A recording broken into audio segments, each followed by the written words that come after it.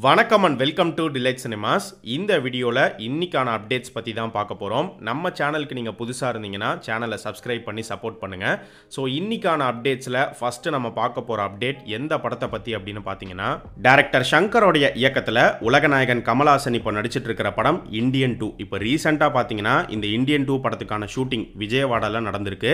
எட்டாயிரம் ஜூனியர் ஆர்டிஸ்ட்டை வச்சு ஷூட் பண்ணியிருக்காங்க அண்ட் இன்னும் உலகநாயகன் வந்து இந்த படத்துக்காக முப்பத்தஞ்சு நாள் கால் ஷீட் ஒதுக்கி கொடுத்துருக்காரு அப்படிங்கிற மாதிரி சொல்லப்படுது.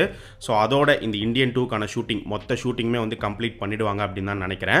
அண்ட் நம்ம முன்னாடியே சொன்ன மாதிரி இந்தியன் டூ மட்டும் இல்லை இந்தியன் த்ரீயும் வந்து இருக்குது இந்தியன் த்ரீக்கான போர்ஷன்ஸ்லாம் வந்து பார்த்தீங்கன்னா ஷூட்டிங் முன்னாடியே முடிஞ்சிருச்சு. இப்போ நடந்துட்டு இருக்கிற ஷூட்டிங் எல்லாமே வந்து இந்தியன் டூக்கான ஷூட்டிங் தான் வந்து எடுத்துட்டு இருக்காங்க. So Indian two Indian three இந்த ரெண்டு பார்ட்டாக வந்து இந்த படம் ரிலீஸ் ஆக போகுது அப்படிங்கிறத உலகநாயகனே ஒரு ஈவெண்ட்டில் வந்து அவரே வந்து சொல்லிட்டாரு. ஸோ இந்தியன் டூவை பொறுத்த வரைக்கும் அடுத்த வருஷம் ஏப்ரல் மந்த் தான் வந்து பார்த்தீங்கன்னா ரிலீஸ் டார்கெட் பண்ணிட்டு இருக்காங்க so two thousand twenty four April ரிலீசஸில் ஒரு பக்கம் இந்தியன் டூ இருக்க இன்னொரு பக்கம் ஆக்டர் சூர்யா இப்போ நடிச்சிட்டு இருக்கிற ஒரு மிகப்பெரிய பேன் இண்டியன் ப்ராஜெக்டாக உருவாயிட்டு இருக்கிற கங்குவா. கங்குவா படமும் வந்து பார்த்தீங்கன்னா ஏப்ரல் ரிலீஸ் தான் வந்து பிளான் பண்ணிட்டு இருக்காங்க அப்படிங்கிற மாதிரி நியூஸ் வந்திருக்கு. ஆக்சுவலாக இந்த நியூஸ் வந்து முன்னாடியே வந்துச்சு. பட் அதுக்கப்புறமா வந்து பார்த்தீங்கன்னா இந்தியன் டூ ஏப்ரல் மந்த் வருது அப்படிங்கிற மாதிரி நியூஸ் வந்ததுக்கப்புறமா கங்குவா வந்து அப்போ ஏப்ரலில் வராது தள்ளி போகும் அப்படிங்கிற மாதிரி தான் சொல்லப்பட்டுச்சு. ஆனால் இப்போ பார்த்தா கங்குவாவுமே வந்து ஏப்ரல் தான் வந்து டார்கெட் பண்ணிட்டு இருக்காங்க ஸோ ஏப்ரல் லெவன்த் வந்து படத்தை ரிலீஸ் பண்ணுற மாதிரி பிளான் பண்ணிட்டு இருக்கிறதா ஒரு நியூஸ் ஓடிட்டு இருக்கு ஸோ இப்போதைக்கு வந்து பார்த்தீங்கன்னா April two thousand twenty four ரிலீசஸில் வந்து மூணு படங்கள் இருக்குது அதில் ஒரு படம் வந்து அஃபிஷியலாகவே வந்து அனௌன்ஸ்மெண்ட் பண்ணிட்டாங்க. யாருடைய படம் அப்படின்னா ஜூனியர் என்டிஆருடைய தேவரா. ஸோ அவங்க அஃபிஷியலாக கன்ஃபார்ம் பண்ணிட்டாங்க. ஆனால் இந்தியன் டூ கங்குவாவை பொறுத்த வரைக்கும் இப்போதைக்கு ஏப்ரல் ரிலீஸுங்கிற டாக்ஸ் மட்டும்தான் போயிட்டு இருக்கு அஃபிஷியல் கன்ஃபர்மேஷன் இன்னும் வரல. மேபி சீக்கிரமே வந்து கன்ஃபார்ம் பண்ணுவாங்க அப்படின்னு நினைக்கிறேன். டேரக்டர் அட்லியோடைய அடுத்த ப்ராஜெக்டை பற்றி அவரே சில இன்ட்ரெஸ்டிங்கான அப்டேட்ஸை வந்து நமக்கு கொடுத்துருக்காரு. ஸோ ஃபஸ்ட்டு வந்த நியூஸ் என்ன அப்படின்னு பார்த்தீங்கன்னா ஒரு பக்கம் கம்ப்ளீட் ஹாலிவுட் ஃபிலிம் இன்னொரு பக்கம் வந்து ஒரு complete pan Indian film Indian film ரெண்டு ப்ராஜெக்ட்டுக்குமான ஒர்க் வந்து பேரலாக போயிட்டுருக்கு. இதில் எது ஃபஸ்ட்டு ஃபைனலைஸ் ஆகுதோ அதை வந்து அட்லி ஃபஸ்ட்டு டைரக்ட் பண்ணுவார் அப்படிங்கிற மாதிரி சொல்லப்பட்டுச்சு. பட் இப்போ வந்திருக்கிற நியூஸ் இப்போ அட்லியே சொல்லியிருக்கிற விஷயம் என்ன அப்படின்னு பார்த்தீங்கன்னா இப்போ அடுத்து நான் பண்ண போகிற ப்ராஜெக்ட் வந்து கண்டிப்பாக ஒரு பெரிய ப்ராஜெக்டாக வந்து இருக்க போது அந்த ப்ராஜெக்ட்டுக்காக ஒரு ஹாலிவுட் ரைட்டரை வந்து பிக் பண்ணி அவர் கூட கம்பைன் பண்ணி தான் வந்து நான் இந்த ப்ராஜெக்ட்டில் வந்து ஒர்க் பண்ண போகிறேன் அப்படிங்கிற மாதிரி சொல்லியிருக்காரு ஆனால் அந்த ப்ராஜெக்ட் வந்து ஒரு ஹாலிவுட் படமா இல்லை இந்தியன் படமா அப்படிங்கிறது வந்து கிளியராக மென்ஷன் பண்ணி வந்து சொல்லலை. பட் ஆனால் அந்த இந்தியன் ஃபிலிம் வந்து பார்த்தீங்கன்னா கண்டிப்பாக மல்டி ஸ்டாரர் ஃபிலிமாக தான் வந்து இருக்க போகுது. ஏன்னா அவரே வந்து சொல்லியிருந்தார் தளபதி விஜய் ஷாருக் கான் இவங்க ரெண்டு பேரையுமே வந்து ஒன்றா கொண்டு வரணும். ஒரு படத்துக்குள்ளே இவங்க ரெண்டு பேருமே வச்சு ஒரு படம் பண்ணணும் அப்படிங்கிற ஒரு ஆசை இருக்குது ப்ளஸ் அதுக்கு வந்து அவங்க ரெண்டு பேருமே வந்து பாசிட்டிவ் சிக்னல் வந்து கொடுத்துருக்காங்க. அந்த மாதிரி ஒரு ஸ்கிரிப்ட் இருந்தால் கண்டிப்பாக நாங்கள் ரெண்டு பேரும் சேர்ந்து நடிக்கிறோம் அப்படிங்கிற மாதிரி ரெண்டு பேருமே வந்து என்கிட்ட சொல்லியிருக்காங்க. ஸோ அதனால் வந்து அந்த ஒரு ப்ராஜெக்ட்கான ஒர்க்கை வந்து நான் பிளான் பண்ணிகிட்ருக்கேன் இருக்கேன் அப்படிங்கிற மாதிரி சொல்லியிருந்தார். ஸோ இந்தியன் ஃபிலிமாக இருந்தால் அது கண்டிப்பாக மல்டி ஸ்டாரர் ஃபிலிமாக தான் வந்து இருக்கும். பட் எதுவாக இருந்தாலுமே அடுத்து அட்லி பண்ண போகிற அவருடைய ப்ராஜெக்ட் வந்து பயங்கரமான ஒரு ப்ராஜெக்டாக வந்து இருக்க போது பயங்கர ஸ்ட்ராங்கான ஒரு படமாக இருக்கும் அப்படிங்கிற மாதிரி அவரே வந்து கேரண்டி கொடுத்துருக்காரு. அண்ட் முக்கியமாக ஒரு விஷயம் என்ன சொல்லியிருக்காரு அப்படின்னு பார்த்தீங்கன்னா என்னுடைய படங்களில் கிளீஷேவாக ஃபாலோ ஆகிற சில விஷயங்களை வந்து நான் அடுத்து வரப்போகிற படங்களை வந்து தவிர்க்க போகிறேன் இல்லை மாற்ற போகிறேன் அப்படிங்கிற மாதிரி சொல்லியிருக்காரு. என்ன கிளீஷே அப்படிங்கிறது உங்களுக்கே தெரிஞ்சிருக்கும். அவருடைய படம்னாலே கண்டிப்பாக ஃப்ளாஷ்பேக் இருக்கும். ஃப்ளாஷ்பேக்கில் ஒரு ஹீரோயின் வந்து செத்து போயிடுவாங்க. ஸோ இந்த மாதிரி விஷயங்களெல்லாம் வந்து அடுத்து வரப்போகிற படங்களில் வந்து ஃபாலோ பண்ணாமல் வேறு விதமாக வந்து அதை டீல் பண்ண முடியுமா அப்படிங்கிறதுக்கு நான் பிளான் பண்ணிட்டு இருக்கேன் ஒர்க் பண்ணிட்டு இருக்கேன் அப்படிங்கிற மாதிரி சொல்லியிருக்காரு. ஸோ அது வரைக்கும் ரொம்ப நல்லது. தளபதி விஜய் இப்போ அவர் நடிச்சிட்டு இருக்கிற படம் தளபதி சிக்ஸ்டி எயிட் இப்போ ரீசெண்டாக தான் பார்த்தீங்கன்னா Thalapathy sixty eight movie team வந்து தாய்லாந்து கிளம்பி போயிருந்தாங்க. அங்கே சில முக்கியமான சீன்ஸ் எல்லாம் வந்து எடுத்திருக்காங்க. கார் சேஸ் ஆக்ஷன் சீக்வன்ஸ்லாம் வந்து எடுத்திருக்கிறதா வந்து சொல்லப்படுது. ஸோ தாய்லாந்து ஷெடியூலை வந்து சக்ஸஸ்ஃபுல்லாக கம்ப்ளீட் பண்ணி முடிச்சுட்டு மூவி டீம் வந்து திரும்ப சென்னை ரிட்டர்ன் வந்துட்டாங்க. இப்போ அடுத்த ஷெடியூல் வந்து பார்த்தீங்கன்னா சென்னையில் தான் வந்து நடக்க போகுது. சென்னையில் பிரசாத் லேபில் தான் வந்து ஷூட் பண்ண போகிறாங்க அடுத்து நடக்க போகிற இந்த ஷெடியூலில் வந்து ஆல் ஆர்டிஸ்ட் காம்பினேஷன் வந்து இருக்கும் அப்படிங்கிற மாதிரி சொல்லப்படுது. அண்ட் முக்கியமாக இந்த படத்தோடைய ஜானர் இந்த படத்தோடைய ஸ்டோரி பற்றி ஆரம்பத்துலேருந்தே ஒரு சில டாக்ஸ் வந்து போயிட்டுருக்கு. ஸோ இந்த தளபதி சிக்ஸ்டி எயிட் படமும் வந்து ஒரு எக்ஸ்பிரிமெண்டல் ஃபிலிமாக இருக்க போகுது அப்படிங்கிற நியூஸ் வந்து முன்னாடியிலேருந்தே வந்துட்டுருக்கு.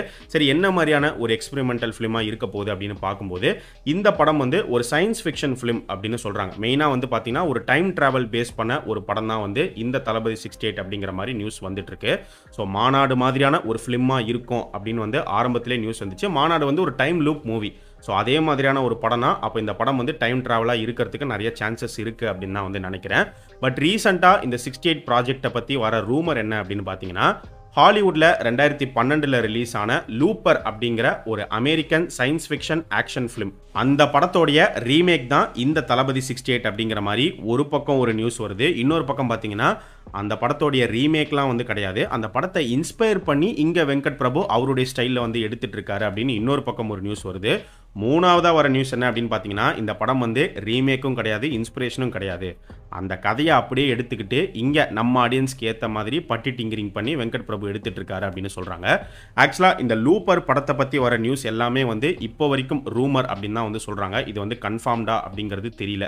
இது வந்து சும்மா ரூமருக்காக கிளப்பி விட்ருக்காங்க அப்படின்னு சொல்லப்படுது. பட் ஆனால் சிக்ஸ்டி எயிட் வந்து பார்த்தீங்கன்னா ஒரு science fiction time travel film அப்படிங்கிறத வந்து யாரும் இது வரைக்கும் மறுக்கலை.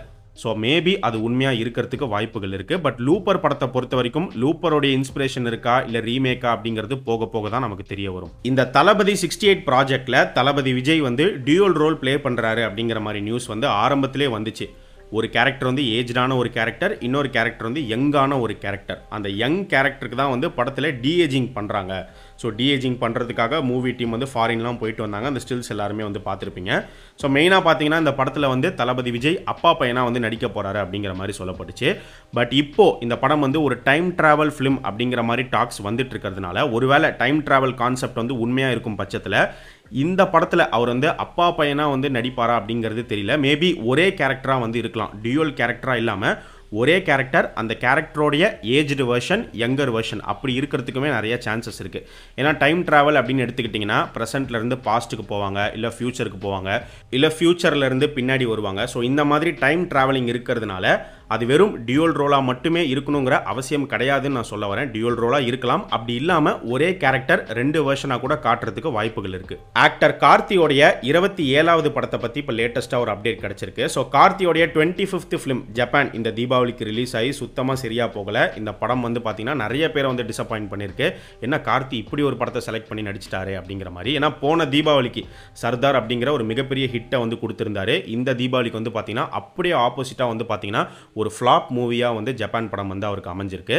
சரி ஜப்பானுக்கு அடுத்து அடுத்தடுத்து அவருடைய லைனப்ஸ் என்ன அப்படின்னு பார்க்கும்போது கார்த்தி டுவெண்ட்டி சிக்ஸ் வந்து நலன்குமார் சாமி தான் டைரக்ட் பண்ணிட்டு இருக்காரு ஏற்கனவே fifty percentage of the shooting வந்து பார்த்தீங்கன்னா கம்ப்ளீட் பண்ணி முடிச்சிட்டாங்க. இப்போ கார்த்தி டுவெண்ட்டி செவன் எடுத்துக்கிட்டோம் அப்படின்னா நைன்டி சிக்ஸ் படத்தோடைய டேரக்டர் பிரேம்குமார் அவர் தான் கார்த்தியோடைய இந்த இருபத்தி ஏழாவது படத்தை டைரக்ட் பண்ணுறாரு அண்ட் இந்த கார்த்தி டுவெண்ட்டி செவன் ப்ராஜெக்டில் ஆக்டர் கார்த்தி கூட ஆக்டர் அரவிந்த் சாமியும் சேர்ந்து நடிக்கிறாரு. இந்த கார்த்தி டுவெண்ட்டி செவன் எப்போ ஸ்டார்ட் ஆகுது அப்படின்னு பார்த்தீங்கன்னா வர நவம்பர் பதினேழாம் தேதி கும்பகோணத்தில் இந்த படத்தோடைய ஷூட்டிங் அப்படிங்கிறது ஆரம்பிக்க போகுது. ஸோ ஃபஸ்ட்டு ஷெட்யூல் வந்து ஒரு முப்பது நாள் ஷெட்யூல் அட்ட ஸ்ட்ரெச்சாக வந்து பிரேக்கே இல்லாமல் ஷூட்டிங் கம்ப்ளீட் பண்ணுற மாதிரி பிளான் பண்ணியிருக்காங்க படத்தோடைய மொத்த ஷூட்டிங்குமே வந்து பார்த்தீங்கன்னா எண்பத்தஞ்சு நாளுக்குள்ளே எடுத்து முடிச்சிடணும் அப்படிங்கிற மாதிரி ஒரு பிளான் வச்சுருக்காங்க. ஸோ இது எல்லாமே தான் இன்னைக்கான அப்டேட்ஸ் இதே மாதிரி நிறைய இன்ட்ரெஸ்டிங்கான அப்டேட்ஸை அடுத்த அப்டேட் வீடியோவில் நம்ம பார்க்கலாம். நம்ம சேனலுக்கு நீங்கள் புதுசாக இருந்தீங்கன்னா சேனலை சப்ஸ்கிரைப் பண்ணி சப்போர்ட் பண்ணுங்கள் அண்ட் நம்ம டிலைட் சினிமாஸ் சேனலோடைய சோஷியல் மீடியா பேஜஸ்க்கான லிங்க் வந்து பார்த்தீங்கன்னா டிஸ்கிரிப்ஷனில் கீழே கொடுத்துருக்கோம். இன்னும் ஃபாலோ பண்ணாதவங்க மிஸ் பண்ணாமல் போய் ஃபாலோ பண்ணுங்கள்